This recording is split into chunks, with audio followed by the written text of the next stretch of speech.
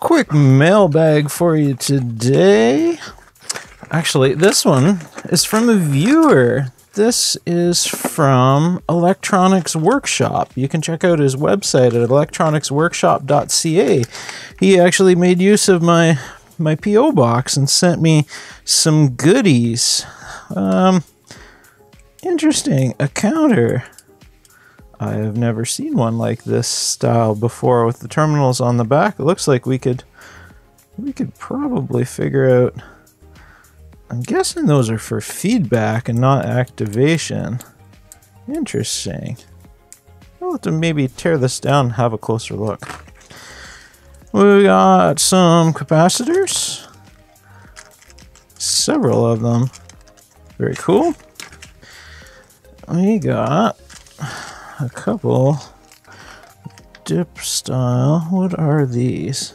Now this is hard for me to read, so I'll just have to get in a little close. I'll break out the microscope. I actually can't read what those are. Uh, future me will overlay them on the screen right now. Figure out what that is. What else did he send me? Looks like some switches. He said this was just a goodie box of all kinds of stuff, and sure enough it is. Is that a switch? No.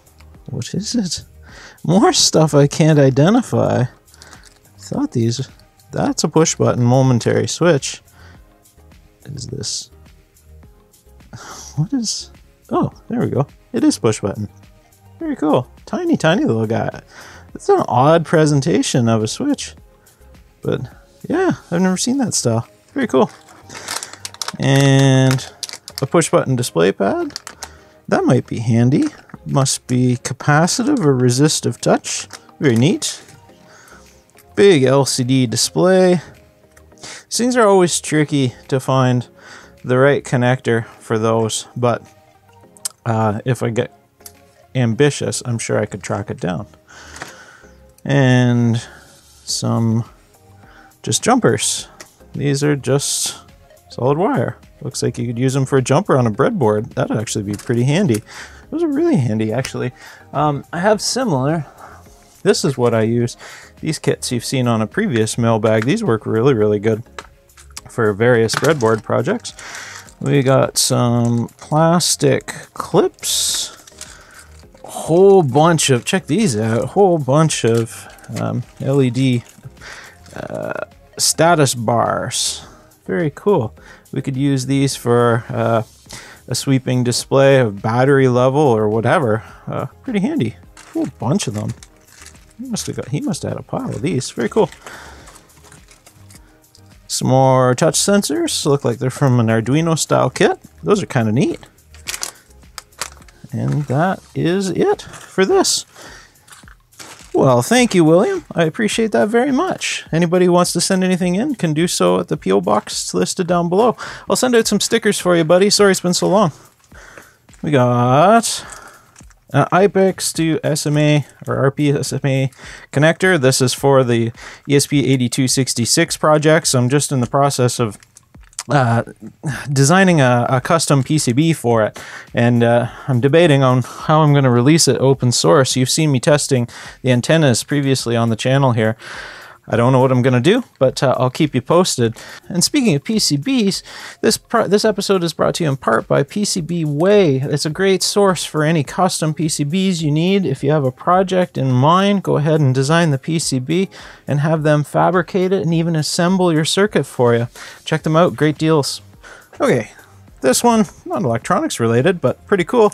It's a little Gerber knife. Um, I've actually I've actually always been a Leatherman guy, and I have uh, my Leatherman Surge that I've been using for oh a decade and a half now. But I needed an everyday carry, and it just so happened that there wasn't a lot of Leatherman on Amazon, but there was this uh, from Gerber.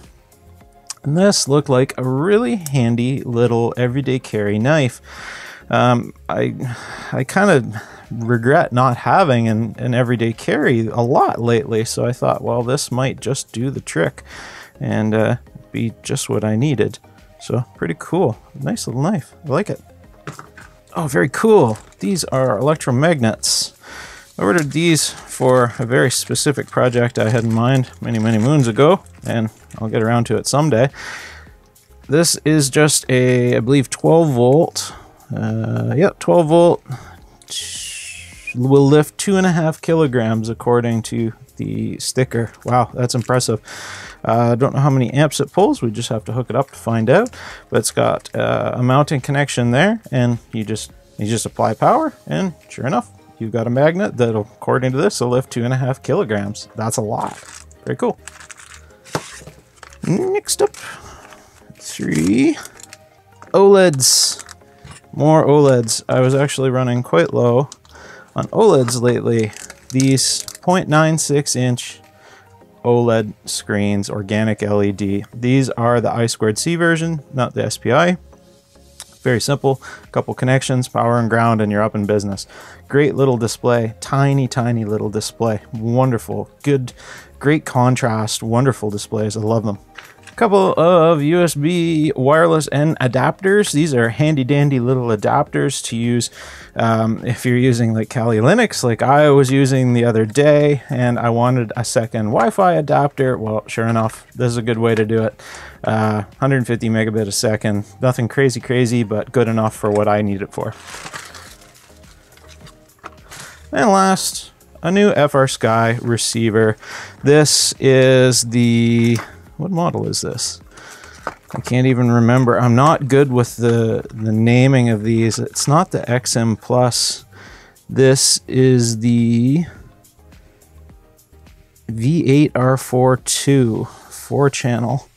Um, I think what I needed this for was actually for my uh, small little UAV, my Nano Talon, and uh, I wanted to give one of these a try, so we'll give it a go. Uh, I love the FrSky stuff now. I've pretty much entirely switched over from FlySky. I'm having good luck with it. Great little, great little radios, great little receivers. They just, they just, they just work. A little behind the scenes. This week, I finally got my MST61 all fixed up and working. Had to do a carb kit on it. It happens. Uh, fuel, ethanol just chews up diaphragms. As you guys know, uh, I was a mechanic for many years, so I've been familiar with such things. This is next up on the list is my Kipor uh, 3 kilowatt generator. The recoil failed on it. It actually just it just tack welded, just spot welded, and it just broke in half. I was actually able to find a replacement on Amazon, which is pretty cool. And I've already done the inverter board in that thing before. It's a wonderful, cheap generator. Pretty happy with it. Another generator, this one I got tuned up yesterday. This is my Hyundai 2 kilowatt and I was able to drain the fuel out of it, run that out, uh, new spark plug, and I ordered a new primer. This is ready to fail any moment. If you guys would like to see more of the mechanical stuff behind the scenes, like in my former life, sitting right here, let me know in the comments down below. Shoot me a message, and I'll uh, I'll do more of these videos. We'll do, well, I've got this guy coming up next. He needs a carb kit as well, so pretty cool let me know.